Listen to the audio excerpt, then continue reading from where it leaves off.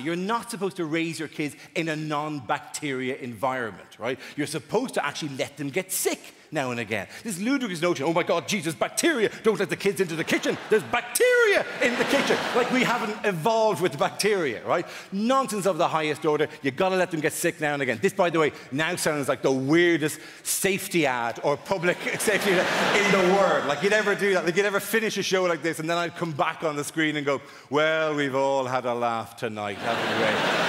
but an important point has to be made. Is there bacteria in your house? Pick up your kid and rub his face in it.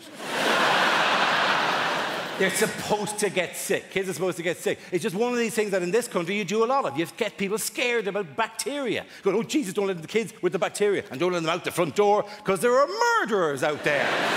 well, where does the kid stay? In the hall. That's where the kid stays for the entire time. When can I leave the hall? When you're 18. Then you can do whatever you want, right? but until then, okay, you can go to the shops, but make sure nobody follows you. I shouldn't have let him do that.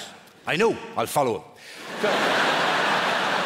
It makes literally no sense whatsoever. That's why there's so much. I mean, you are quite tough. How many people here are in their teens? Vast majority. You get a really hard, you just get appalling coverage in this country. You'd think you were feral the way the papers went on about young people. Genuine, you'd think that, uh, that, you'd think that every young person in Britain just walks with a hoodie up and a kind of a, like a knife and a phone, taping it, just walking around like some sort of Asbo Dalek of some description, just lashing out and taping at the same time. Ha ha, this'll go on YouTube.